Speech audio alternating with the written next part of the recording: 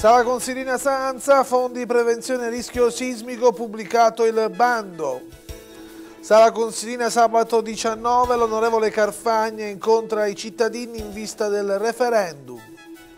Parco Nazionale Cilento Vallo di Diano e Alburni, il coordinamento USB critica lente per la situazione di stallo. Sant'Arsenio all'ITC Sacco Isaia Sales per parlare di storia delle mafie. Calcio, Pollesi fuori dalla Coppa, sconfitta anche al ritorno. Buonasera, ben ritrovati ad un nuovo appuntamento con le 1 News. Il Vallo di Diano è stato inserito dalla Protezione Civile Nazionale tra le aree a maggiore rischio dal punto di vista sismico e per cercare di prevenire e di ridurre al massimo le conseguenze derivanti dal sisma che la Regione Campania eh, alla Regione Campania sono stati assegnati fondi per l'adeguamento sismico degli edifici a rischio. I comuni di Sanza e Sala Consilina i primi ad aver pubblicato l'avviso per richiedere il riconoscimento dei finanziamenti. I comuni di Sanza e Sala Consilina tra i primi a pubblicare sul sito istituzionale l'adesione all'iniziativa regionale della protezione civile per adeguamento sismico e rafforzamento delle strutture esistenti.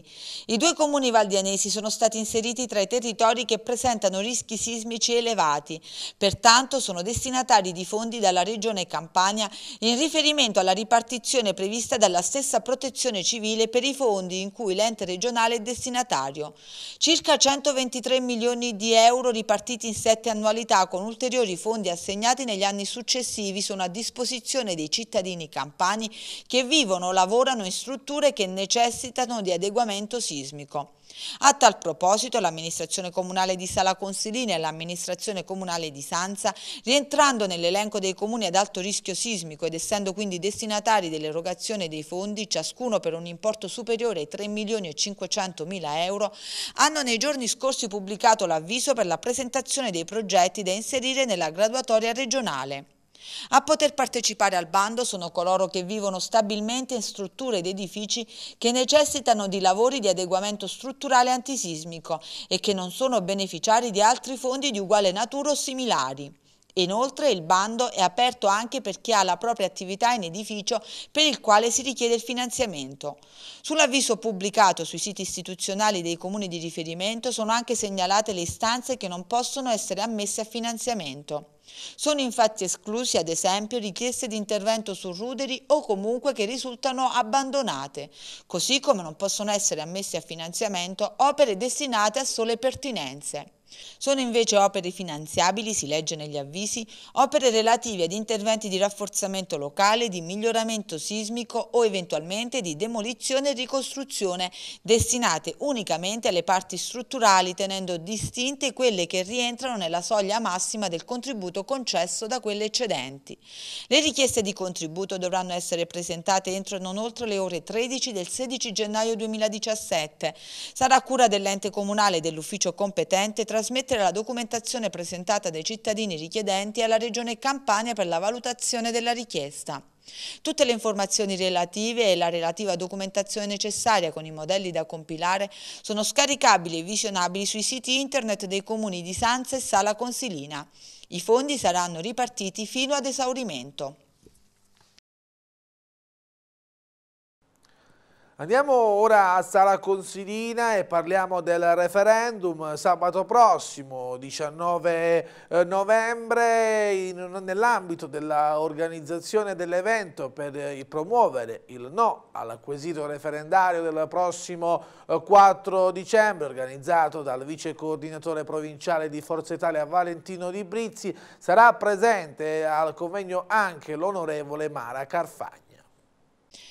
Forza Italia nel Vallo di Diano per sostenere le ragioni del no al prossimo referendum del 4 dicembre. Sabato prossimo, 19 novembre, il vice coordinatore provinciale di Forza Italia, Valentino Di Brizzi, accoglierà l'onorevole Mara Carfagna, portavoce alla Camera dei Deputati per il partito di Silvio Berlusconi, presso l'Aula Magna delle scuole elementari di Via Matteotti a Sala Consilina, in un incontro pubblico finalizzato a spiegare le ragioni di un diniego alla prossima riforma della Costituzione italiana, così come concepita dal ministro per le riforme Boschi e dal premier Renzi. L'appuntamento Io voto no avrà inizio alle ore 17.30 e vedrà gli interventi, oltre che del vice coordinatore provinciale Valentino Di Brizzi, anche del senatore Enzo Fasano, coordinatore provinciale per Forza Italia e naturalmente dell'onorevole Mara Carfagna. Forza Italia, ha spiegato Di Brizzi, è costantemente impegnata nello spiegare ai cittadini perché è necessario andare a votare e perché riteniamo che si debba votare no al referendum del prossimo 4 dicembre. Ci auguriamo che questo referendum, prosegue Di Brizzi, che è sempre uno strumento di democrazia, possa dimostrare come gli italiani hanno voglia di riprendere in mano le redini del nostro paese. Un paese, lo ricordiamo, che sta affrontando il cambiamento di una carta costituzionale nata da una valutazione condivisa dei nostri padri costituenti, che certamente necessita di riforme, ma che non può essere riformata da un governo senza la condivisione, non dico della totalità, ma perlomeno della stragrande maggioranza del Parlamento. Da un governo poi, insiste Di Brizzi, neppure eletto dal popolo, ma sostenuto da parlamentari che pur di rimanere in carica hanno scelto, a discapito della volontà di chi li ha eletti, di cambiare casacca. Per spiegare questo e molto altro ancora, sabato prossimo avremo l'onore di avere tra noi l'onorevole Mara Carfagna, continua Di Brizzi, che seppur oberata di impegni, sempre legati alla campagna di informazione per il referendum, non ha voluto mancare ancora una volta di essere presente nel Vallo di Diano. Sono grato all'onorevole Carfagna, conclude Di Brizzi, per l'impegno e la dedizione che mette nella sua attività politica, facendo sempre da stimolo a tutti noi a difendere i valori della libertà e della democrazia che sono il fondamento del nostro partito. Mi auguro di poter avere sabato prossimo la massima affluenza possibile al nostro incontro, così da poter utilizzare quel pomeriggio per meglio chiarire i dubbi alla nostra gente. Ed ora la cronaca, un 31enne di Montana Antiglia è agli arresti domiciliari accusato di stalking, ma scopriamo i dettagli nel servizio. Perseguitava una giovane donna, la seguiva e andava nei luoghi frequentati dalla stessa. Proprio a partire dalle denunce fatte dalla ragazza ai militari della compagnia dei carabinieri di Sapri, in particolar modo ai militari della stazione di Laurito sotto la guida del maresciallo Francesco Benevento, che sono partite le indagini e nella giornata di ieri i militari hanno eseguito un'ordinanza di custodia cautelare emessa dalla Procura della Repubblica di Vallo della Lucania nei confronti di un uomo originario di Vallo della Lucania ma residente a Montano Antiglia, classe 1985, ritenuto responsabile del reato di stalking. Il 31enne, nonostante fosse già stato colpito da un provvedimento di divieto di avvicinamento alla vittima emessa dalla stessa procura, su richiesta della stazione locale dei carabinieri, ha continuato a pedinarla in diverse occasioni, assumendo ogni volta ambigui atteggiamenti. E proprio a seguito degli elementi raccolti dai carabinieri di Laurito e immediatamente riportati all'attenzione dell'autorità giudiziaria, quest'ultima ha emesso nella giornata di ieri l'ordinanza di sottoposizione dello stesso agli arresti domiciliari. Svoltiamo e parliamo ora di sanità. L'ultimo atto aziendale dell'ASL di Salerno ha previsto un deciso eh, ridimensionamento per quanto riguarda l'ospedale civile eh, di Roccadaspiti a soltanto 20 posti letto. A difesa dell'ospedale si è costituito un comitato civico che ha indetto per sabato prossimo un corteo di protesta. Grido d'allarme a difesa dell'ospedale di Rocca d'Aspide, l'ultimo atto aziendale dell'ASL di Salerno che dovrebbe essere a breve approvato dal commissario per la sanità in Campania Josef Polimeni è sul punto di decretare un netto ridimensionamento per l'ospedale di Rocca d'Aspide che serve una popolazione di oltre 50.000 persone con i comuni degli Alburni e della Valle del Calore che si ritroverebbero senza un presidio sanitario in un'area decisamente marginale, senza considerare le ormai note difficoltà di viabilità che devono devono far fronte. Per far sentire la propria voce e far giungere le istanze del territorio anche nelle sedi centrali della politica, è nato nelle scorse settimane un comitato a sostegno della sanità. Il comitato civico pro ospedale di Rocca d'Aspide ha deciso di indire per il prossimo sabato 19 novembre a partire dalle ore 10 del mattino un corteo di protesta pacifico per dire no allo scippo più ingiusto e doloroso della sua storia secolare. Con questo appello pubblico, fanno sapere dal comitato, intendiamo far sapere a tutti dello scippo che la mala politica sta tentando di perpetrare il nostro danno e sotto i nostri occhi. L'ospedale civile di Rocca d'Aspide, unico baluardo pubblico a difesa della vita e della salute dei 54.000 residenti dei 24 comuni della Valle del Calore Salernitano, dopo gli ultimi provvedimenti amministrativi del commissario Polimeni, dei vertici della giunta regionale e del direttore generale dell'ASL di Salerno, rischia la definitiva chiusura e la fuoriuscita da tutte le reti dell'emergenza sanitaria regionale e sarà l'unico ospedale in tutta la provincia di Salerno a subire questo violento, ingiustificato e incomprensibile trattamento. In base agli ultimi provvedimenti del governo nazionale e del commissario di governo, si legge ancora nel manifesto di protesta del comitato, per il rientro del disavanzo sanitario di Regione Campania, la struttura ospedaliera di Rocca d'Aspide, dagli attuali 70 posti letto e con unità operative di eccellenza, sarà trasformato in punto di primo accesso in deroga con soli 20 posti letto di medicina generale. Una sorte infame quella prefigurata dal commissario di governo per il nostro presidio ospedaliero. Noi, sottolineano con forza dal Comitato, non siamo cittadini di serie B, noi paghiamo le tasse come tutti gli altri cittadini d'Italia, noi non siamo affatto disposti a tollerare un'ingiustizia che non ha alcun fondamento giuridico, umano, sociale, economico e civile. Pertanto ci appelliamo alla sensibilità dell'intera comunità, al senso di responsabilità, di solidarietà sociale e di appartenenza ad un territorio già profondamente martoriato, offeso ed oltraggiato nel corso degli ultimi decenni. Questa volta, concludono amareggiati, l'offesa proveniente da Stato e Regione Campania potrebbe rappresentare la morte civile definitiva di un intero comprensorio. Per tali ragioni dobbiamo svegliarci e mobilitarci per difendere quello che è un sacrosanto diritto nostro sancito dall'articolo 32 della Costituzione italiana. La Repubblica tutela la salute come fondamentale diritto dell'individuo e interesse della collettività e garantisce cure gratuite agli indigenti. Il corteo di protesta indetto dal Comitato Pro Ospedale Civile di Rocca d'Aspide Valle del Calore attraverserà il centro cittadino di Rocca d'Aspide. Andiamo avanti, nonostante i buoni propositi dei nuovi vertici del Parco Nazionale del Cilento, Valoridiano e Alburni, continua a vivere una situazione di stallo e quanto sostiene e lamenta il coordinamento dell'Unione Sindacale di Base e Federazione eh, Provinciale di Salerno in un comunicato stampa.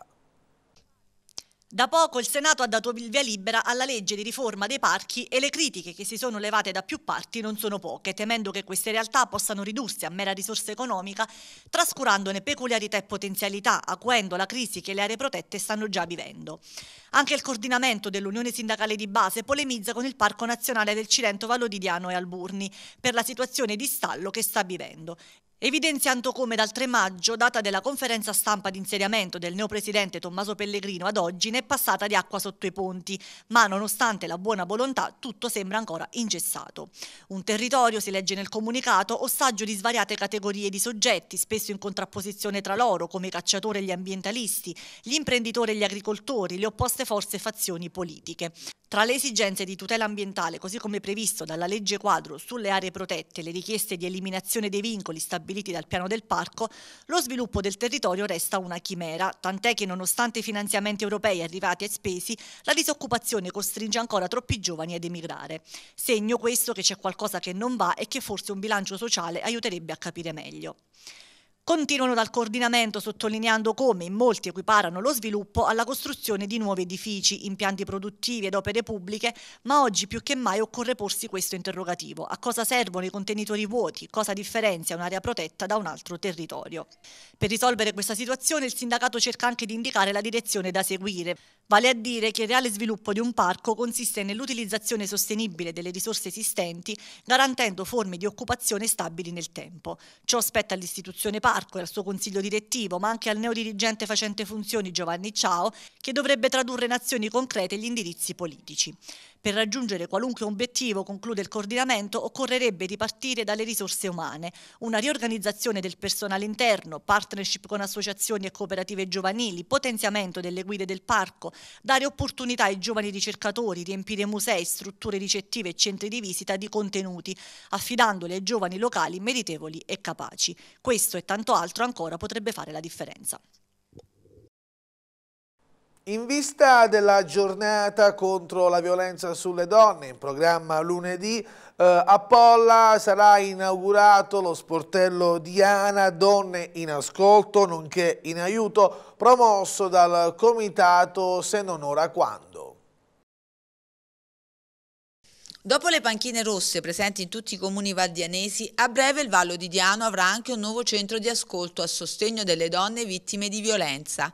Nei giorni scorsi le amministratrici di tutti i comuni del Vallo di Diano hanno aderito in massa alla proposta lanciata dal centro antiviolenza Artusa con il patrocinio del piano sociale di zona S10, iniziativa promossa in vista della giornata internazionale contro la violenza sulle donne che ricorre il prossimo 25 novembre e armandosi di vernice e pennello Pennello hanno ridipinto una panchina del centro cittadino di colore rosso sangue per ricordare tutte quelle donne che hanno perso la vita o che comunque sono rimaste menomate a causa delle violenze subite, purtroppo nella maggior parte dei casi dai loro partner.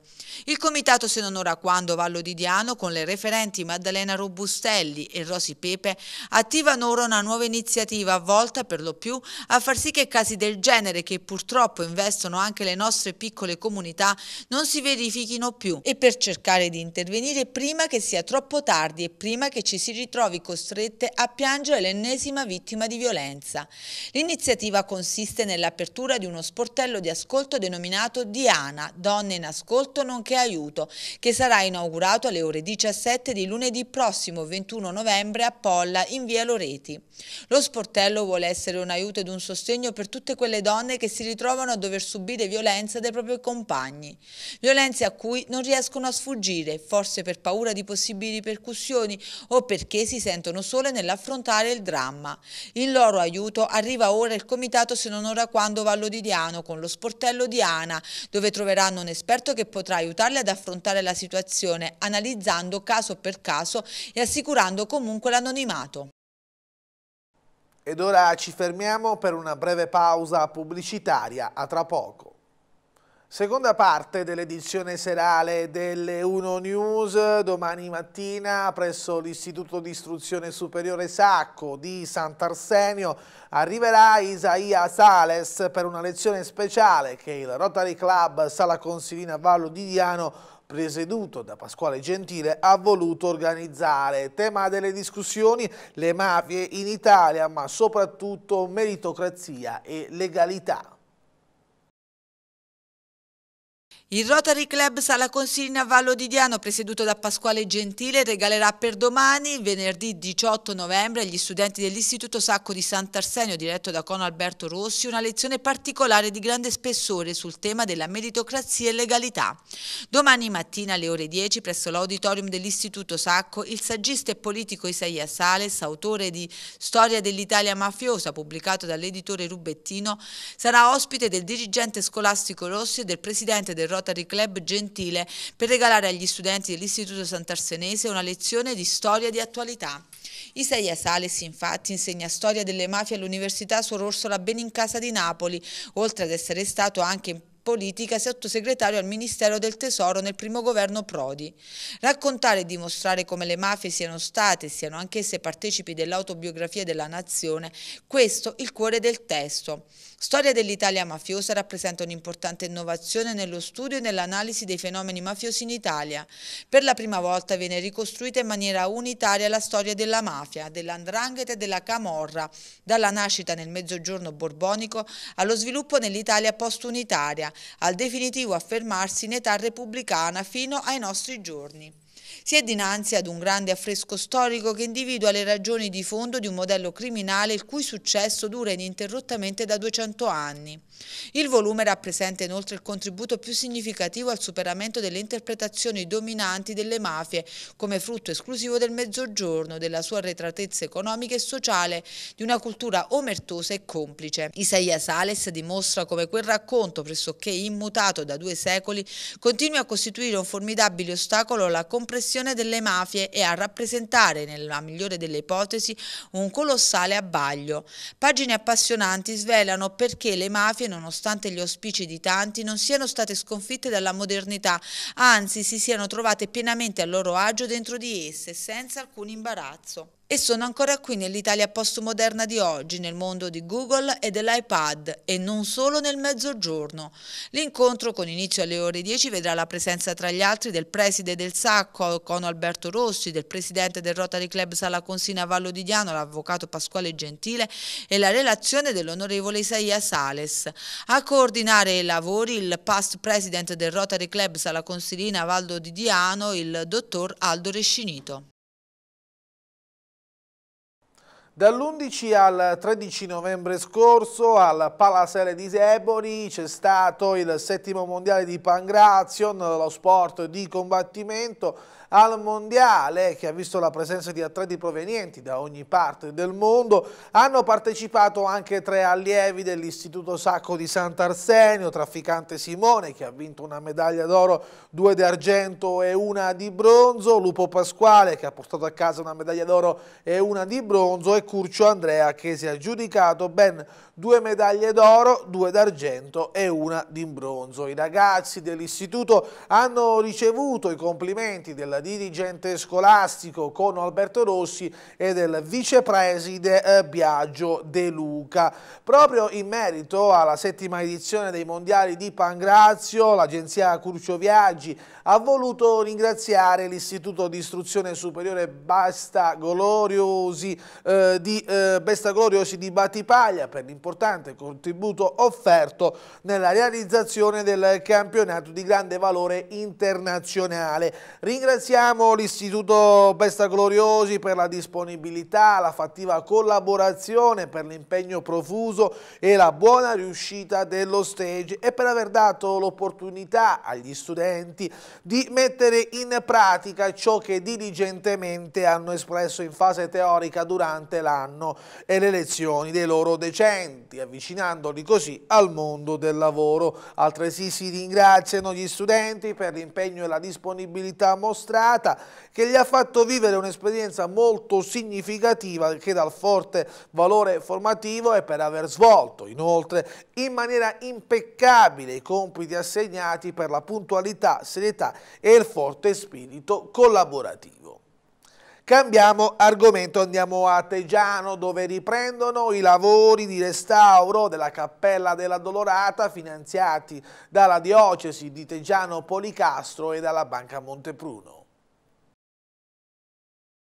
Grazie ai finanziamenti della diocesi di Teggiano Policastro e della Banca Montepruno prosegue il lavoro di recupero della Cappella della Dolorata al Museo Diocesano di Teggiano.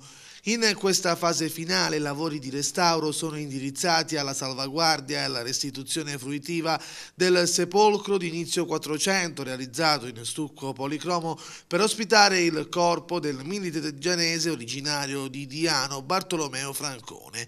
I lavori realizzati sotto l'alta sorveglianza della soprintendenza APAB di Salerno hanno portato finora al completo recupero della parte superiore dell'anticlovano con il restauro degli affreschi di inizio inizio Settecento, sulle volte e sulle lunette, i cui dipinti sono i sette dolori di Maria, e sulla parete destra, ove è raffigurato San Filippo Benizzi, una rara iconografia presente a Teggiano. All'inizio della ripresa dei restauri si riannunciano interessanti riscoperte storiche e artistiche che vanno dall'iscrizione della cassa in caratteri gotici e scialbata da quasi 200 anni alle indicazioni del dossale del sepolcro in cui compaiono i nomi dei familiari del defunto Bartolomeo Francone. Gli interventi di salvaguardia guardie del secondo lotto riusciranno a recuperare antiche cromie e dettagli plastici e figurativi finora non visibili, riportando il monumento sepolcrale realizzato di imitazione delle tombe napoletane del XIV secolo ad una chiara lettura iconografica e storica. Anche l'aspetto architettonico della cappella sarà rivalutato con la riapertura per intero della monofora gotica che offre luce all'ambiente. I risultati del restauro che si conclude concluderà per fine anno verranno riproposti in un convegno ad inizio gennaio al Museo Diocesano e confluiranno in un prossimo catalogo scientifico a cura della direzione museale. Ed ora il calcio, mercoledì di Coppa Italia che ha visto impegnata l'ultima valdianese, la Pollese sconfitta 2-1 in casa dalla Gregoriana, salutando così la competizione. Era l'ultima squadra valdianese in campo per la Coppa Italia di prima categoria in grado di passare il primo turno e accedere alla fase successiva. Ma si stampa contro il muro gregoriana la marcia della Pollese nella competizione del mercoledì. Sul sintetico del Cappelli di Caggiano la formazione di Augusto Gentile alza bandiera bianca dopo il 3-0 rimediato al centro sportivo di San Gregorio Magno due settimane fa diventava davvero complicato ribaltare il punteggio. Nel match di ritorno però i gialloverdi hanno ceduto 2-1 alla formazione di Mister Menza che così accede alla fase successiva del torneo. Parte forte la Pollese che al primo affondo passa in vantaggio con Dorilia, un gol che dà speranza ai padroni di casa, i quali avrebbero anche altre occasioni per farne, ma le sciupano clamorosamente. Nella ripresa la Gregoriana entra con un piglio diverso, Mister Menza al settantesimo mette in campo Troiano e Pucciariello che svoltano il match. Pucciariello prima che in area di rigore batte il portiere da pochi passi dopo una corta respinta, poi Troiano calcia da fuori area e complice il portiere avversario realizza il gol del definitivo 1-2. È stato un giovedì di coppa anche per l'eccellenza campana, in campo il prossimo avversario del Valdiano, l'Audax Cervinara, che davanti al pubblico amico perde per 2-0 per mano dell'FC Sorrento con i costieri che così accedono al turno successivo della competizione. E con lo sport termina il nostro TG, grazie per averci seguito e buon proseguimento di serata.